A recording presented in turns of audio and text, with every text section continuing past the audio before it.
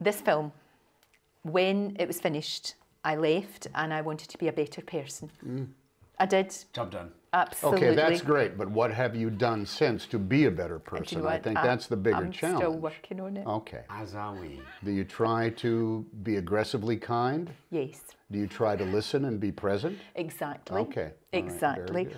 The loveliest man, just the loveliest man. I mean, and we don't really have an equivalent here. No. But it doesn't matter. One of the Teletubbies, maybe, is one about of as the- close as Tinky you can Winky. get. Yeah, yeah. Known for his listening.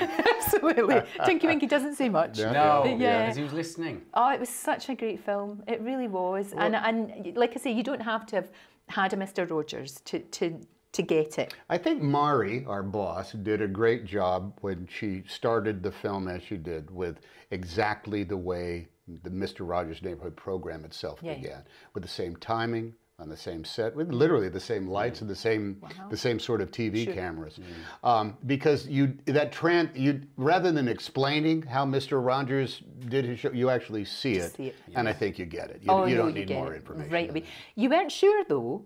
You've been asked to do it before, haven't you? To play Well, this uh, character. the, the way show business works. I know you're a journalist, so this is your beat, but I'm going to tell you how show business works. Um, is that a, a screenplay existed many, many, many years ago, and it's the first blush of what the story could be. Okay. It wasn't what the it wasn't the screenplay that we were working. As a matter of fact, I don't think they even had the permission to use Mr. Rogers the first time. I said, and so you're reading really a blank canvas, and what it requires is the filmmaker makes the film. And Mari and I, I had been trying to work with her for a while based on uh, some films, and she and I were uh, uh, corresponding. And when she said, I found this thing that I really want to do with you, and I, I said, let me go back and look at that again. Please send me the latest. Then that led to a discussion of exactly what are you trying to get dig into with this film? And she said the thing that I think struck terror into both of our hearts. She said, I want to make a movie about men and their feelings. And that almost chased me away right I'm there. not surprised. Ludicrous idea. The last thing I'm going to do Yes. is share my feelings on camera. but you so did. you, Yeah, you so so did. Your character, I mean, he's he has to go through such a lot in this film, and he is. We can recognise this man who's kind of very jaded.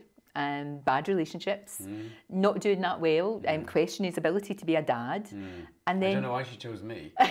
And then he's saved though. Yeah. He's saved, Yes. but it takes him a wee while. Well, yes, doesn't it? Doesn't it to us all? Yeah, Yes. that's true. Uh, Yeah, and that, you know, obviously that's the, that's the that was one of the great interests to me of this what he has to go through. Yeah.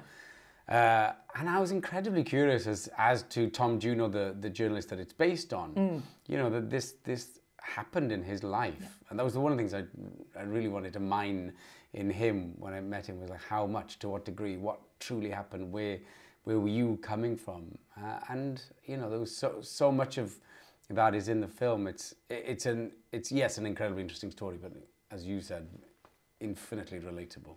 He Oh, was, he- Tom was was completely open about it. He shared. Yes. He was willing Yeah. to share everything Yes. that he'd gone through. which was really good. Yeah. It, it made it, it. That's what makes it. That's Mm. that's what makes that honesty as well. Because and seeing the way that he's, because you can see he's going. This guy cannot be like that. Mr. Rogers cannot be Yeah. this kind and this understanding What's, and that. it, what's he What's he trying to do? Exactly. Yeah, yeah, yeah, yeah. And you know, we are all a little bit like that now. There's got to be a darker side. You know, he can't possibly be that. But but he can and it gives you such hope that there's people like that in the world, that people like that did inhabit this this world, you know. it's These Well, kind I- I- people. yeah, I, th- I think the thing that we discovered in the in, in the most of it is that um, Mr. Rogers, Fred Rogers, never once lied to Tom. Hmm. You know, he even hmm. said, "Oh, I'm I'm I'm I'm a failure in many ways, Tom. I'm a cracked vessel. I have I have all the bad feelings uh, that anybody has. We all do." Hmm. So he's not saying, "Oh no, I don't have any problem." Oh no, I have No, a whole exactly. philosophy of dealing with that. No, Yeah. he he demonstrated his philosophy by demonstrating philosophy by by acting upon it by No, that's being true. aggressively kind And he wasn't he wasn't a saint by any No. because then he would be actually unreachable. Yes, And he yeah, wouldn't be yeah. able to talk to people the way that he did. I mean, the way he spoke to children was absolutely unbelievable. Never patronising, Mm. No. never talking down to them. Just somehow he had this magic Mm-hmm. that they just came and and, and spoke to him like it- it's just like like he was talk- talking to anybody else. So that was brilliant. Mm. But, but and brilliant. also self-confessed that it was something he worked at doing. You know that Yeah. he, he he he very diligently went about the, the timing that it takes to, for, to talk to a child for them to in order to process and and and and you know answer. Yeah. He, he he went about it with in a very disciplined way in the same way and you know touching on what, what you said about he, he wasn't a saint. He went about working at Mm. this philosophy. It took it took you know intention and and graft. It Yeah. didn't come. It didn't. It wasn't. He wasn't born with it. It took time, and that's the thing we don't have much of these days. It Or took we time. think we don't. No, but we can work on What it. What we do on television, we'll be talking here for the next 45 minutes. Yes. We will. and No one. Yes. No, we will And absolutely What? for days. What? We won't? And they'll, and they'll cut it down to But I three thought, more you, minutes. I thought you cared about us. We Lorraine. do I so thought you so were going to much, invest in so, us. so much. We were promised. Who do we think? Because I was trying to think of who is like him, who is like Mr. Rogers, and in the UK I can think of David Attenborough, maybe. Ah, right, Kind yes. Mm-hmm. of. It's different, Yes. but that I same sort of see it. humanity, Yes. I guess. But As a I matter of fact, if David Attenborough just put pauses in his shows, yes. and he said things like, "The Kriako ladybud is an amazing creature." Pause. So we could say, "Yeah, it kind Yeah, of it is."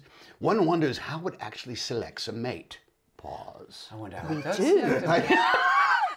Yeah. That would work. Then, then it would it would, would work. it- you would kind of like have that, Yeah. that back and forth that Mr. Rogers I know, put but into I just don't shows. think we've got a Mr. Ro- Is there anybody that you, strikes you that could be Mr. Rogers? I've think? I've thought diligently about my own childhood. You know what we watched. But it to. wasn't the same here. His was Chris Tarrant, Exactly, Timmy Mallett. Yeah. You, go, my God, we, were- we were just bomb, bombastic. We- You know, it was very like, bright, it was no wonder we didn't like. it was full end on, Saturday it was morning like on. that. I'm exhausted. I, I needed a nap.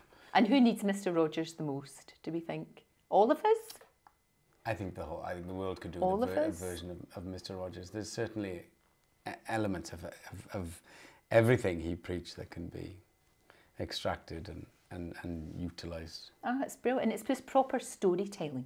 Proper storytelling. Well, there's That's that. I think it's a surprise. I don't think it, it Mm. you, you, when you find out there's going to be a movie made about Mr. Rogers, I think you have some sort of uh, expectations are going to be this preachy thing that is going to tell you how to Mm. think and what have you. And I think at the end of the day, our movie says, be kind and share your feelings. That's not exactly a revolutionary not, idea, but it's but it's a revolutionary practice. Yeah. Uh, and if more, if if we did that, I I, I, I- think both of us were.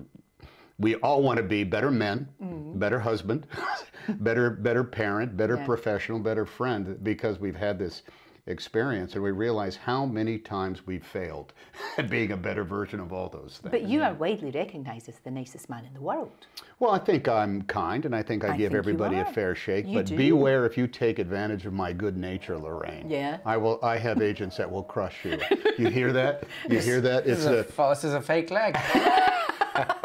I paid the price. I You paid, paid the, the price. price for That's that, right. you Yes. He didn't appreciate some coffee I brought him one morning. Yeah. And that was it. That Yeah, it. I, I cut him One off for the better breakfast. part of the day, and I didn't let him come back until he was knocking on my trailer door in tears. I'm so sorry, That's right. All right, all right, Matt, come on. You're okay, you're okay. Yeah. We do share, though, something that we both love very much, and that's Maeve Binchy. Oh. I am the biggest Maeve Binchy fan. I adored the woman. She was incredible. Uh, I was I was I was at some place and I just needed something to read, and I took this tattered paperback book called Light a Penny Candle, that uh, honestly altered altered my life. It's a, th- this is funny because I'm not Irish. I don't come from that territory, but I read that, and I'm not even I'm not even the, the, the woman. Now, what was the name of the, the main character in that? He said her name was Colleen or something like that, some great Irish name, and I said I know exactly what she's going through. Yeah, yeah, I read yeah. that book. and Said, oh, this is me. This is me. I know what she's going through. Oh, it was good. I was so happy that you did that because you know when sometimes people ask you who's your favourite author and you want to go oh Tolstoy or Solzhenitsyn. I have pretended to read Tolstoy. Yes. We've all pretended. Yeah, but, yeah, yeah. but she's fantastic Oh, and again a storyteller. thick tomes. You know that that Oh, in yeah. uh, Circle of Friends. Oh, that's Circle another one. Friends. Oh, it'll break you, break Oh, you in two. Absolutely break you in two.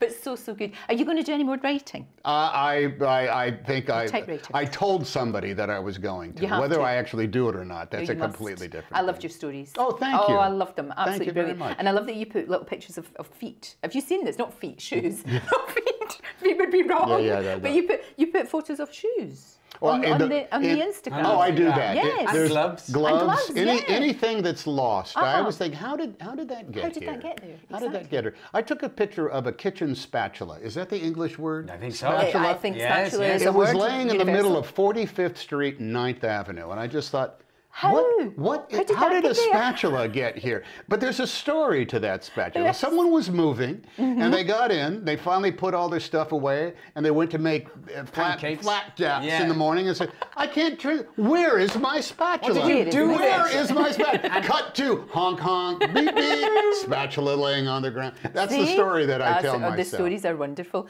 Guys, thank you both Pleasure. so Thank very you. much. Um, just great to see you and thank you for a beautiful Thank you. film. I loved it.